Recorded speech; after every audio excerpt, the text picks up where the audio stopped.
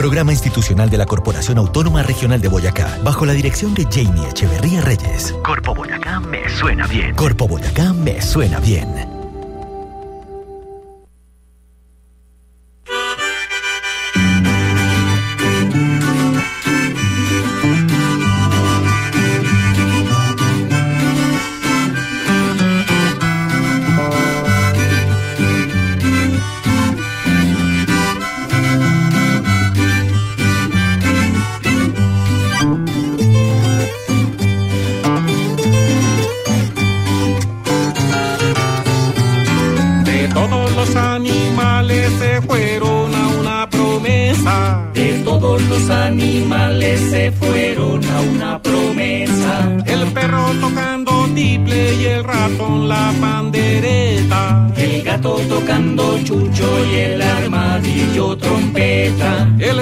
Tocando chucho y el armadillo trompeta. El perro le dijo al gato, que le dijo el armadillo al ratón. No se me adelante mucho, ahí porque se, se me pierde el son. No se me adelante mucho, ahí porque. Las 8 de la mañana, 8 y 5 minutos. Es un gusto saludarlos a todas y a todos. Es un placer para nosotros acompañarlos en la mañana de hoy. Bienvenidos al programa de la Corporación Autónoma Regional de Boyacá, Corpo Boyacá, un espacio para que todos los boyacenses conozcan el quehacer diario de quienes trabajan por la protección, el cuidado y la conservación de nuestro territorio. Hoy en nuestra mesa de trabajo pues nos acompaña Melissa Fonseca, Tomás Cardona, Andrés Felipe Jaimes, Oscar Fagua, Alexandra Borges y Carolina Alfonso. Todos listos para contarles lo que ha sucedido en materia ambiental, en nuestras noticias ambientales, en nuestro territorio, los 87 municipios del territorio de Corpo Boyacá, en la última semana. 8 de la mañana, 6 minutos, una hermosa canción con la que abrimos este programa de nuestro maestro Jorge Velosa. Animales se fueron a una promesa. El perro tocando tiple y el ratón la pandereta. El gato tocando chucho y el armadillo trompeta. El gato tocando chucho y el armadillo trompeta. El perro le dijo al gato le dijo? y el armadillo al ratón. No se me adelante, mucho, ay, porque se, se me pierde el son no se me adelante mucho ahí porque se me pierde el son. El perro le dijo al gato, el perro le dijo al gato, el perro le dijo al gato, y el gato le contestó.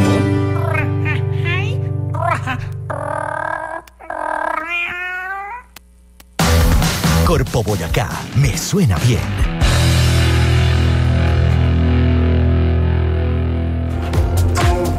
Corpo Boyacá nos suena precisamente a acciones importantes que hemos realizado desde la autoridad ambiental en el departamento de Boyacá.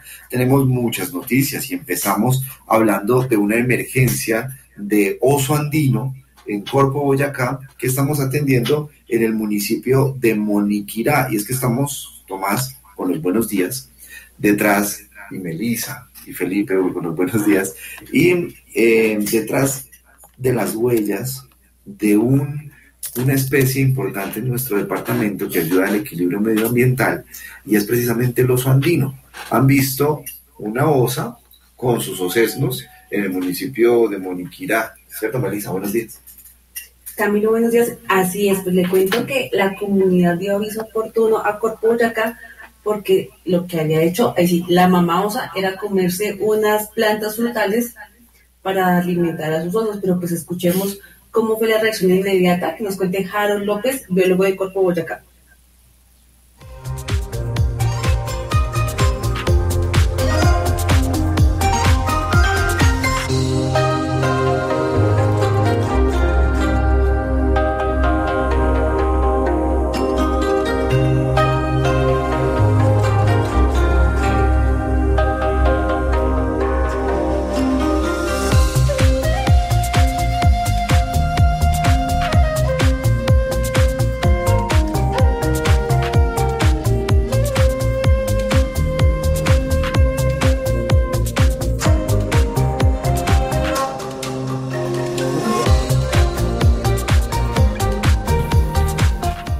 Las 8 y 9 minutos de la mañana, mientras escuchamos a Harold López, nuestro biólogo precisamente, pues es que la comunidad hace un llamado oportuno. el pasado domingo, el 22 de septiembre, al equipo de fauna silvestre de la Corporación Autónoma Regional de Boyacá recibió un reporte em, de la guardabosques sobre la presencia de este oso andino en un predio rural. Según la información, el ejemplar había consumido y afectado algunas plantas frutales. Ante esta situación, el equipo de fauna silvestre que está adscrito a una de nuestras subdirecciones, a la subdirección de recursos naturales, determinó que la mejor medida sería pues el acompañamiento de la comunidad, hablar con la comunidad, contarle a la comunidad cómo hay que eh, enfrentar esta situación y posiblemente reubicar el ejemplar eh, para poder darle un manejo eh, pues ejemplar como debe ser a este ejemplar de oso andino y a sus ocestos. Harold López, ya tenemos nuestro audio que nos cuenta específicamente qué es lo que están realizando en este, en este lugar.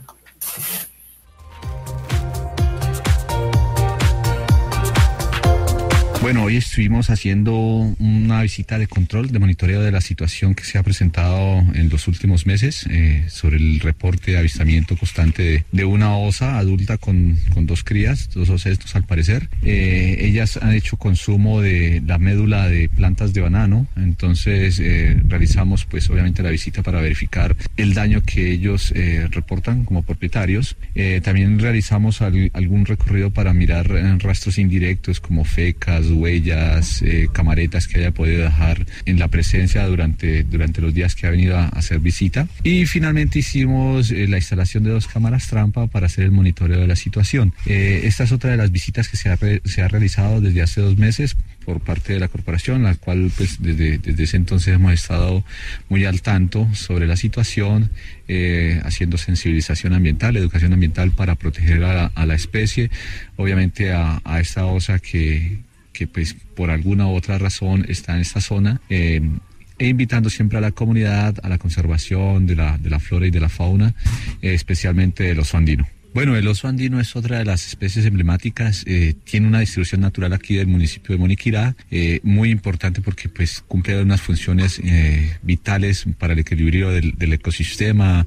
Es un dispersor de semillas, entonces nos ayuda, a, digamos, a, movernos, mover nuestras planticas, a distribuir, a, renovar nuestros, nuestras coberturas boscosas. También es importante porque y se le llama al jardinero del bosque. él renueva los follajes de de, nuestras, eh, de nuestros ecosistemas, de nuestros bosques.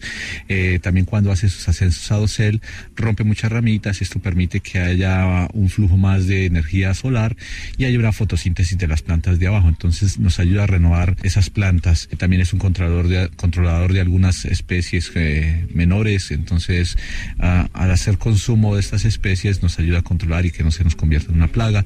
Obviamente es una especie emblemática.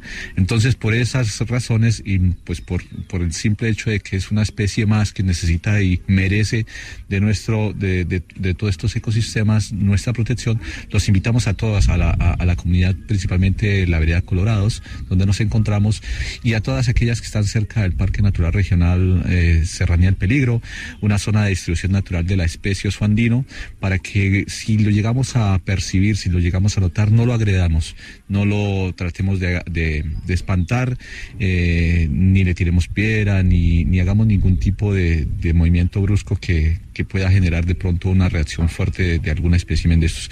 Más bien llamemos a las autoridades, eh, eh, al tanto está la Policía Nacional de la estación de, de, de Moniquirá, eh, la Administración Municipal y obviamente las líneas de la Corporación Autónoma Regional.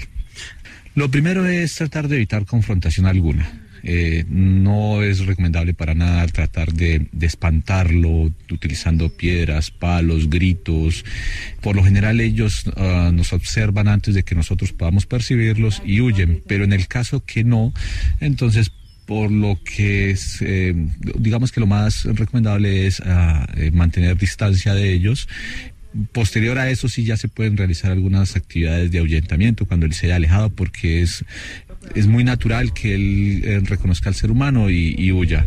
Entonces, después de eso podemos utilizar algunas, algunos artefactos que, que suenen fuerte, eh, la utilización a veces de, de pólvora por medio de mechas o algo controlado para, pues obviamente también evitar algún tipo de catástrofe por incendio. Entonces se puede utilizar también cornetas, pitos, eh, algo que le genere a él eh, incomodidad.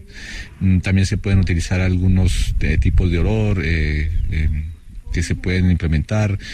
y dejarle algunas banderitas, algunos espantapájaros, una cosa así para tratar de ahuyentarlo y minimizar la presencia de ellos en nuestros predios.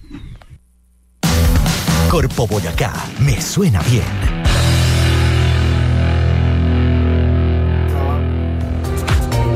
Ahí estaba precisamente nuestro biólogo que nos habla de precisamente qué hacer con estas especies, qué hacer con cuando se ve, cuando se ubica, cuando alguien en el campo o en la ciudad eh, tienen avistamientos de estas especies como el oso andino. Los habitantes pues están preocupados por supuesto entendible debido a que el oso y sus crías han estado visitando la, la propiedad y van aproximadamente cada 15 días, Melissa. Así es, Camilo, la verdad, la comunidad hace un llamado muy importante para que las personas que vean la osa con sus crías, pues no se les acerque, no, denles como el espacio para que ellos sigan su camino. Entonces, escuchemos a Rosalba Hurtado, quien hace la invitación.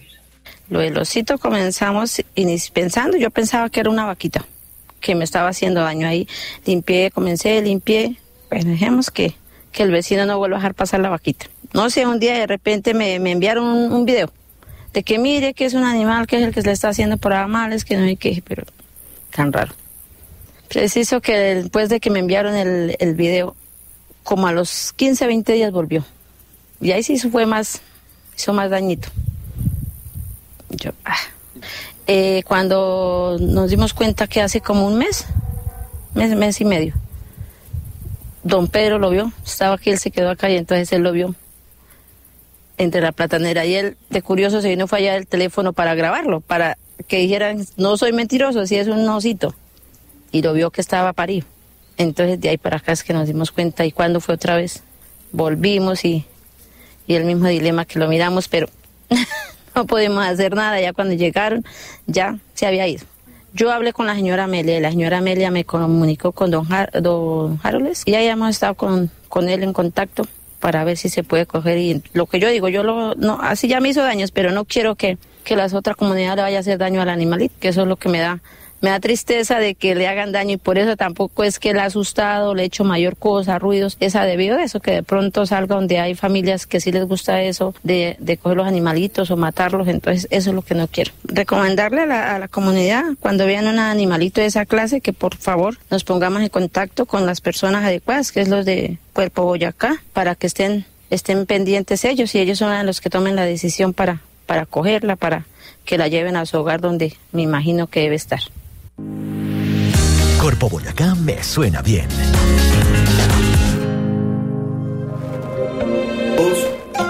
Todos, podemos eh, em, de alguna manera reportar este tipo de casos a través de la línea de celular 321-950-7750. No solo con los osos andinos, con todas las especies de fauna silvestre, porque ya eh, nuestro veterinario Andrés Felipe Jaime nos cuenta ¿Qué pasa cuando uno llama a la línea de Corpo Boyacá 321-950-7750? ¿A dónde los llevan y qué pasa con las especies? Andrés Felipe, buenos días.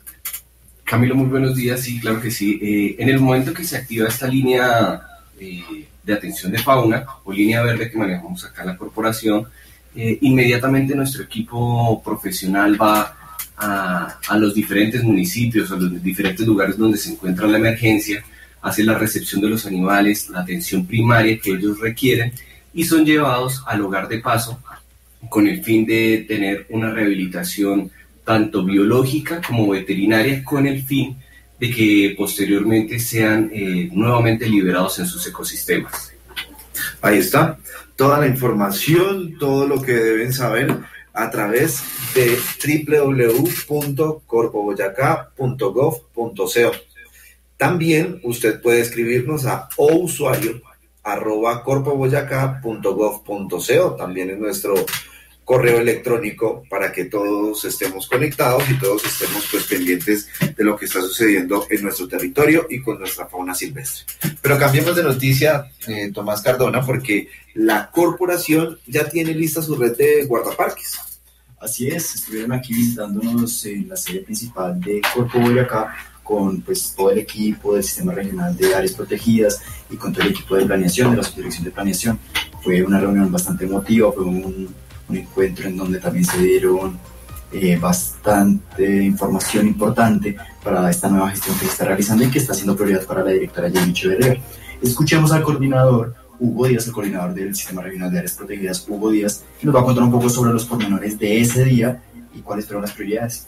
Bueno, el día de hoy comenzamos con el proceso del programa de la Red de Guardaparques y Gestores Ambientales de Corpo Boyacá, una iniciativa que busca fortalecer los procesos de gobernanza en los territorios, específicamente dentro de las áreas protegidas. La corporación con recursos propios hace la vinculación de 15 guardaparques en 15 municipios diferentes que cuentan con áreas protegidas de orden nacional o regional. Con esto queremos primero eh, vincular a las comunidades en los procesos de conservación, que esos líderes ambientales que son reconocidos en el territorio puedan ser parte de los procesos de gobernanza para el cumplimiento de los objetivos de conservación de las áreas protegidas y este es el primer espacio de construcción colectiva donde se hacen procesos de capacitación en temas de sistemas de información geográfica, temas normativos, eh, temas técnicos para que las comunidades puedan ser esa conexión con los guardaparques y empezar a trabajar en la transformación de los conflictos. Corpo Boyacá me suena bien.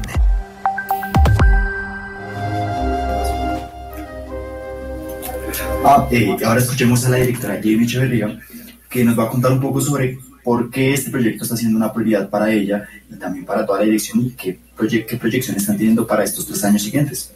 Este trabajo lo hemos venido realizando también articuladamente con las alcaldías municipales. A través de ellos hicimos la convocatoria para poder fortalecer nuestro CIRAP y de esta forma tener estrategias y sinergia en territorio en la protección y conservación de estos ecosistemas. Este es un ejercicio muy importante porque es el primer paso hacia la gobernanza y van a ser pilares fundamentales para nosotros en la toma de decisiones y en la mejora continua con relación a la conservación y a la preservación. Desde que arrancamos esta gestión de la dirección quisimos fortalecer el CIRAP. El CIRAP no solamente se está fortaleciendo con esta red de guardaparques, sino también lo estamos fortaleciendo con profesionales en campo que nos están ayudando a la preservación y conservación de estas áreas protegidas. Nuestra iniciativa pues surge desde Corpo Boyacá, pero queremos hacer un fortalecimiento también con los guardaparques que se encuentran aliados por la parte de la gobernación de Boyacá, pero también por parques naturales nacionales. Esperamos tener al final de este año, inicios del próximo año, una red de guardaparques muy fortalecida que nos pueda ayudar en el ejercicio de nuestras funciones como una corporación autónoma regional. Corpo Boyacá, me suena bien. Un ejercicio muy importante que realiza la, el Sistema Regional de Áreas Protegidas, la directora de Corpo Boyacá, Jamie Echeverría, y por supuesto nuestro biólogo Hugo Díaz, que también eh, lidera, digamos, este proceso de los, guardaparques y las guardaparques en nuestro territorio. 15 por el momento, pero la idea es ampliar este equipo para tener una cobertura total en nuestro territorio. 15 guardaparques para 15 municipios del departamento de Boyacá de nuestra jurisdicción. Además que ellos van a ser la primera, em, digamos así, la primera persona responsable o la primera persona también en atender, o más bien en contarle al departamento y a la unidad nacional y departamental de gestión del riesgo si hay alguno, si hay algún desastre o si hay alguna eh, incendio que se sale de control o algún tipo de afectación a nuestros sistemas de áreas protegidas. Hablemos de los, de los eh, negocios verdes, que a propósito, este fin de semana, 4, 5 y 6 de octubre, tendremos en el centro comercial Viva en Tunja toda una eh, propuesta de estos negocios verdes, toda una exposición. Cada uno va a tener un stand importante allí en el centro comercial Viva Tunja para poder eh, tener contacto con la comunidad, para que la comunidad, para que todo el departamento, todas las personas que visiten este fin de semana el centro comercial Viva Tunja conozcan y reconozcan que hay negocios verdes que le, le aportan positivamente a nuestro medio ambiente. Es por eso que tenemos hoy un informe verde, un informe de un negocio verde especial, se llama Satas Fresh.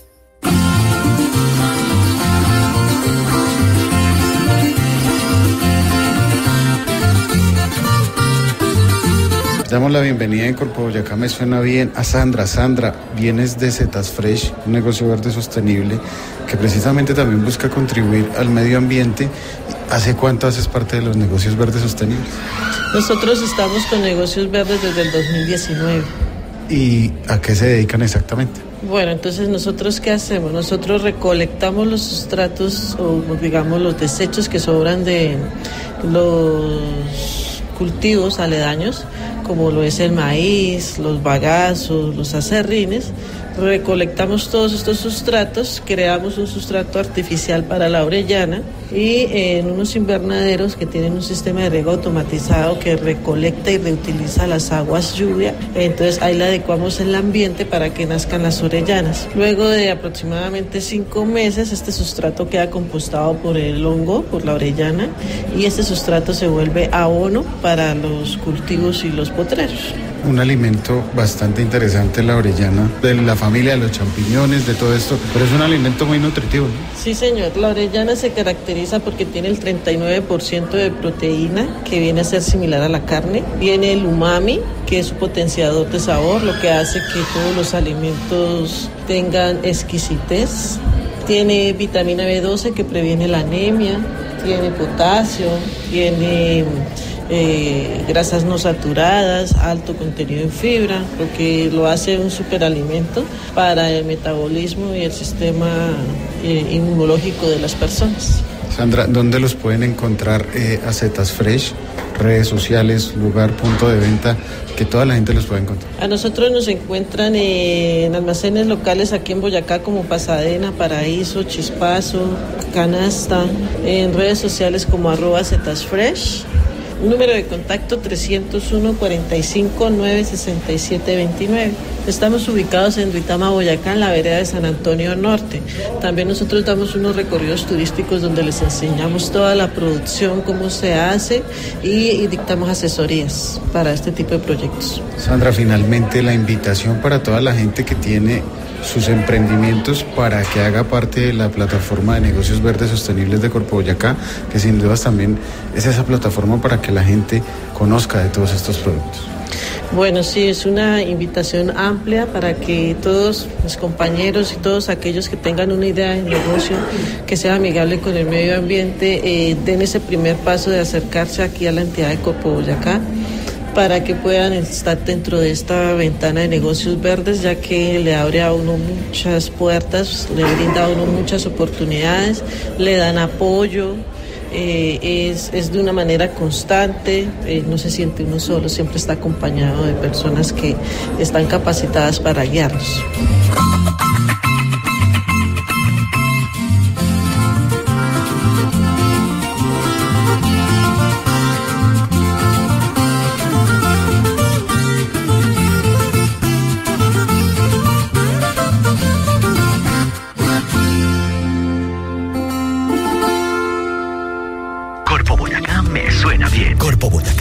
Suena bien.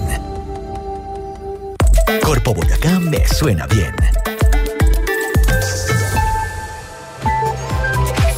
Y Corpo Boyacá nos suena precisamente al trabajo que realiza nuestra Oficina de Participación y Cultura Ambiental en el municipio de Mongua. ¿Qué están haciendo los estudiantes de este municipio, Melissa? Camilo, los dinamizadores ambientales llegaron al municipio de Mongua con el fin de orientar y que nuestros estudiantes aprendan la importancia del cambio climático en el territorio. Pero tenemos una estudiante, Kelly, que nos va a contar qué actividades se desarrollaron. Pertenezco al grupo dinamizador de Tunjuelo. Eh, hoy contamos con un mapa en el, del municipio que podemos ver los impactos positivos y negativos. Y me pareció chévere la actividad porque supimos en dónde estaban básicamente todo lo que tiene las regiones, las las áreas de protección, los parques de nacionalidad y todo eso, entonces me pareció muy chévere la actividad. Camilo, aparte, la ingeniera Natalia Pérez ha, desarrollado, ha venido desarrollando diferentes actividades en este municipio. Ella nos cuenta por qué es importante que los niños aprendan sobre el cambio climático en el territorio mediante una actividad pedagógica en la institución educativa del Tunjuelo y Lisandro Celi en marco de las actividades de dinamizadores ambientales. En lo que refiere al módulo de crisis climática, se realiza una sensibilización con los estudiantes del grupo ambiental en el cual se les establecen eh, mediante cartografía unas actividades que les permiten identificar cuáles son los escenarios de cambio climático presentes en su municipio y las actividades que se asocian a este mismo. Corpo Boyacá, me suena bien. Noticias muy rápidas, noticias de interés para toda la comunidad y por supuesto para nuestros 87 municipios de la jurisdicción de Corpo Boyacá. Todos los jueves de 8 a 8 y media estaremos contándoles ¿Qué realiza Corpo Boyacá por la protección de nuestro medio ambiente, por supuesto, para que todos convivamos con nuestros ecosistemas, con nuestra fauna silvestre, con nuestras especies de manera armónica y como debe ser, porque todos aportamos a este planeta y cuidamos el medio ambiente. 8 y 30 minutos, muchas gracias a todos ustedes por sintonizar la emisora más grande de Boyacá, 95.6 FM, y por enterarse de las noticias de la Corporación Autónoma Regional de Boyacá, Corpo Boyacá. Feliz día. Thank you.